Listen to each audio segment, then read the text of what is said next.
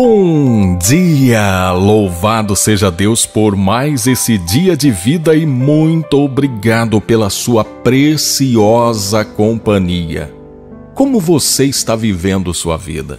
De forma sábia, procurando aproveitar o tempo e as oportunidades? Está vivendo a sua vida com sensatez? Ou você está vivendo a sua vida como quem empurra com a barriga, como quem fica esperando algo acontecer? É sobre isso que eu quero falar na palavra de hoje. Mas por favor, não esqueça de apertar o like. Não esqueça de dar o seu joinha, não esqueça de deixar o seu comentário e compartilhe o link dessa palavra com mais e mais pessoas em todas as redes sociais. E se você precisa adquirir Bíblias ou livros, lembre-se, aqui na descrição desse vídeo, no box de informações, tem o link das livrarias Família Cristã. Adquira por esse link aquilo que você precisar e assim você está me ajudando, ajudando o nosso canal. Hoje é sexta-feira, dia 31 de janeiro de 2020. Eu sou o Ney Santos e é com muita alegria que eu trago até você, num oferecimento das livrarias Família Cristã, a palavra de hoje. Abra comigo a sua Bíblia na carta aos Efésios, capítulo 5, versículo 15, 16 e 17. Versículo 15 diz: Tenham cuidado com a maneira como vocês vivem, que não seja como insensatos, mas como sábios, aproveitando ao máximo cada oportunidade, porque os dias são maus.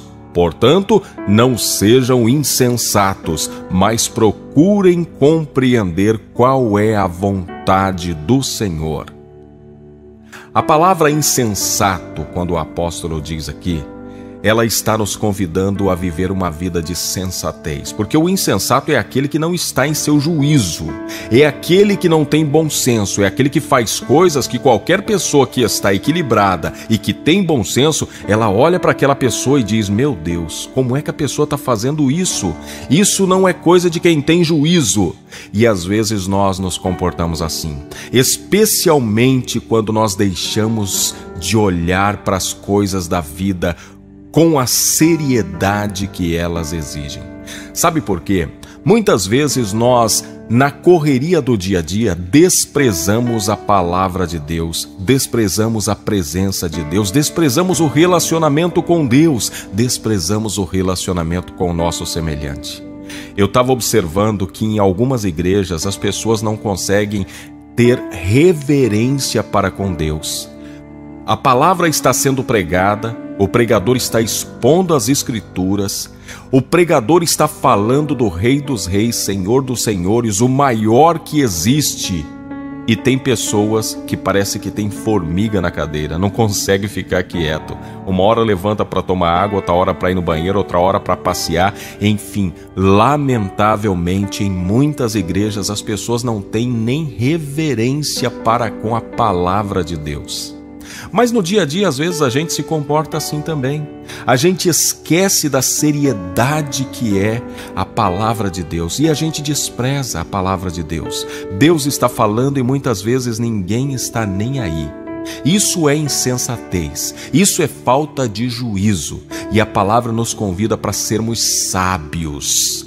E sábio é aquele que possui muito conhecimento, Agora, esse conhecimento, ele vem às vezes por um dom de Deus, mas também vem por esforço. Esforço de quem se senta para estudar, esforço de quem busca conhecimento. E nós somos convidados a não ser insensatos, mas ser sábios, para que, sendo sábios, nós possamos dar valor às coisas sagradas, para que, sendo sábios, nós possamos conservar os nossos relacionamentos, porque muitas são as pessoas que estão chorando, que estão sofrendo, porque não tiveram sabedoria para cuidar dos seus relacionamentos.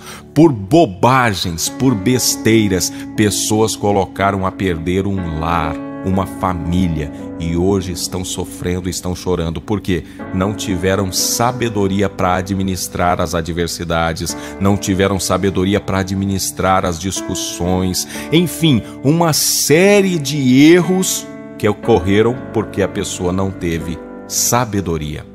E o apóstolo vai além quando ele diz assim: aproveitando ao máximo cada oportunidade, porque os dias são maus. Em algumas traduções da Bíblia, como a RA, revista e atualizada, vai aparecer aqui: remindo o tempo. Eu gosto dessa expressão remindo o tempo, aproveitando ao máximo cada segundo da vida, porque, como diria Tiago na sua carta, nós somos como uma neblina que aparece por um pouco de tempo e logo se dissipa. Ele está querendo dizer: a nossa vida é tão curta. Quantas pessoas que às vezes tinham planos para viver 70, 80, 90 anos e de repente parte com 15 anos, 20, 30. Nós temos uma vida que é muito frágil. Por mais que esteja tudo bem conosco, no momento a gente pode fechar os olhos e não mais ter um dia de vida.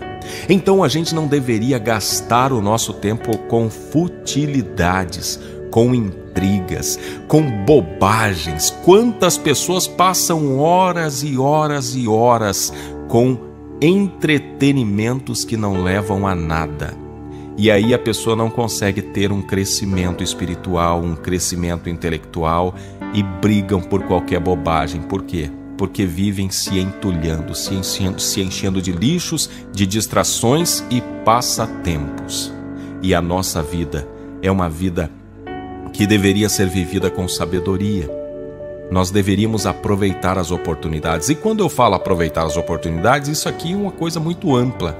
Aproveitar as oportunidades que Deus nos dá de viver a vida, de experimentar as coisas boas da vida, de fazer boas amizades, de ter bons relacionamentos, mas também de anunciar a palavra de Deus, porque nós temos um propósito nessa vida. Nós não estamos aqui simplesmente vivendo por viver.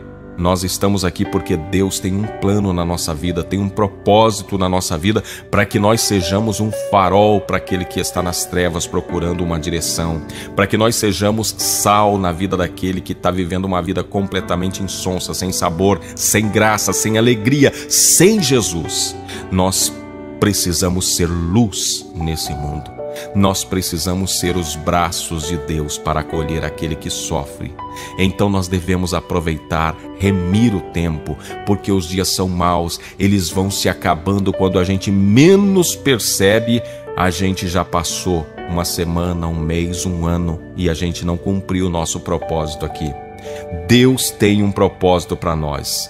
E você vai saber qual é o propósito de Deus quando o apóstolo diz aqui: Mas procurem compreender qual é a vontade do Senhor. Sabe qual é a vontade do Senhor?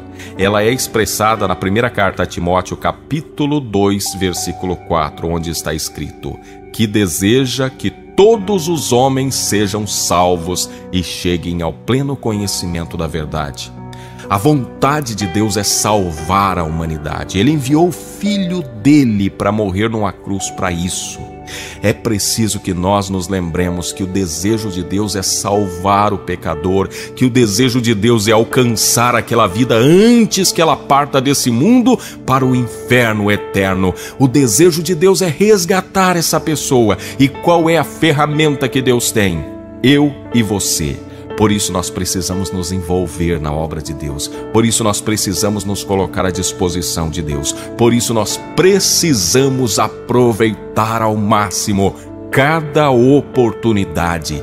Talvez você é a ferramenta de Deus para salvar a sua família, para salvar os seus colegas de trabalho, para salvar as pessoas que estão se perdendo. Mas se a gente não abrir os olhos e não viver com sensatez e sabedoria, o diabo, através das distrações, vai nos roubando dias, meses, anos, e de repente a gente olha para trás e diz: Meu Deus, passaram-se cinco ou dez anos da minha vida?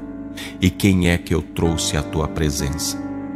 Eu, além de não trazer, talvez desviei pessoas do teu caminho com o meu proceder, com a minha forma displicente de viver. Que o Senhor nos livre de chegar a uma situação como essa. Aquele que tem ouvidos para ouvir, ouça. Hoje é o dia de acordar e de dizer: Senhor, eis-me aqui, usa-me a mim. E é isso que nós vamos fazer por meio da nossa oração.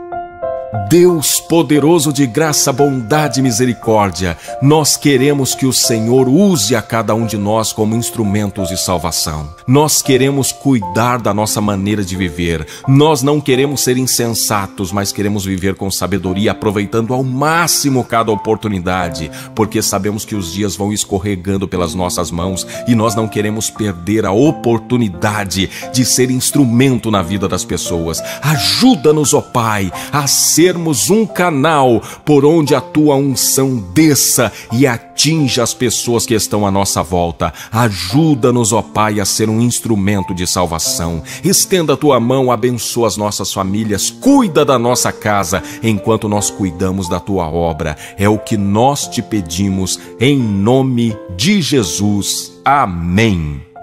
Se você gostou do vídeo, dá um like aí para ajudar o canal, inscreva-se e ative as notificações para você não perder nenhum dos nossos vídeos. Que Deus te abençoe, que Deus faça de você uma pessoa vitoriosa e com uma vida que fez sentido.